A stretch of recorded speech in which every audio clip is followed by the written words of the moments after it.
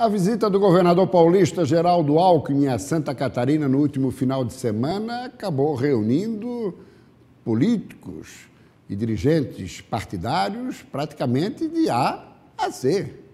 Jorge Bornhausen, ex-governador, ex-senador, ex-ministro, hoje sem filiação partidária.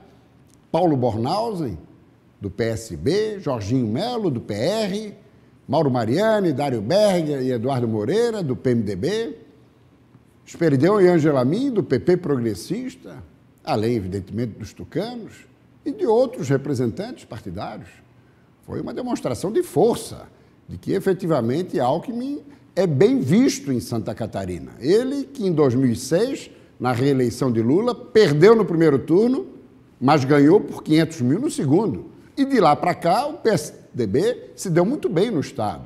Ganhou com o Serra em 2010 e deu de goleada em 2014 com Aécio Neves. Mas, de qualquer maneira, não vimos ninguém do PT e do satélite à esquerda vinculado aos petistas, o que é natural, e ninguém do PSD de Raimundo Colombo e Gelson Merizio.